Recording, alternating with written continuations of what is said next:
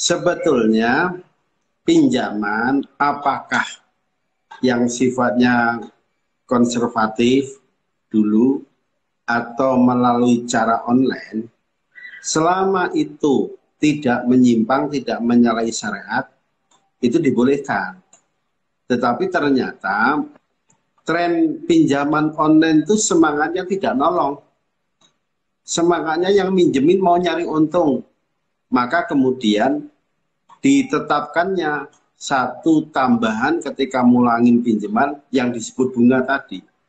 Padahal yang namanya bunga, tambahan yang dipersyaratkan ketika utang, itu hukumnya riba. Dan larangan riba itu sangat keras. Berlaku bagi siapa saja. Jadi karena tren pinjaman online, pinjol ini ternyata tidak ada semangat menolong, tapi justru semangatnya nyari untung dengan meminta tambahan ketika membayar utang, dan tentu saja ini memberatkan bagi pihak meminjam, maka yang berkembang dalam MUI sebaiknya karena banyak madorot, banyak merugikan, mencekik, pinjol ini dihapus saja, dilarang.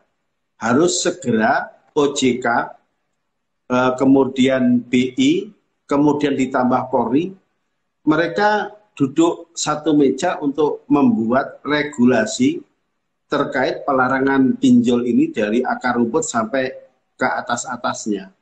Jadi arahnya ke sana. Oke, ini berarti seandainya sudah... pinjol ini tidak ada penambahan uh, sesuatu yang disebut bunga, kemudian semangatnya menolong, tentu MUI akan memberikan apresiasi. Tapi faktanya di lapangan ternyata tidak itu. Semangatnya mereka memberi pinjaman itu lebih banyak. Mereka ingin nyari keuntungan dengan menambahkan tambahan ketika bayar. Misal nih, utang satu juta kalau bayarnya besok, tambahannya 20 ribu.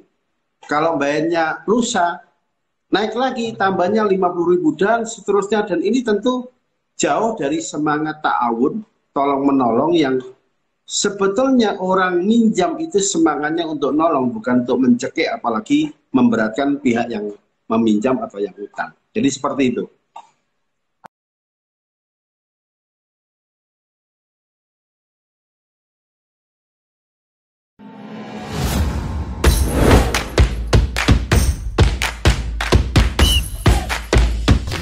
kalau diaduk-aduk jadi cair.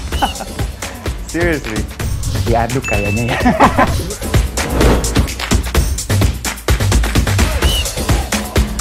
Oh, perlu luar negeri gimana ya? Ini demi kemajuan bangsa Indonesia.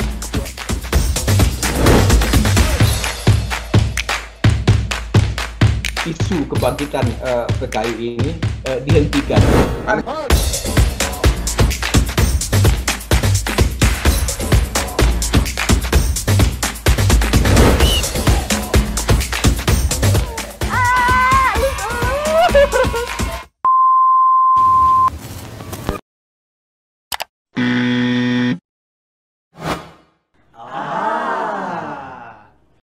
Medcom.id, a part of Media Group News.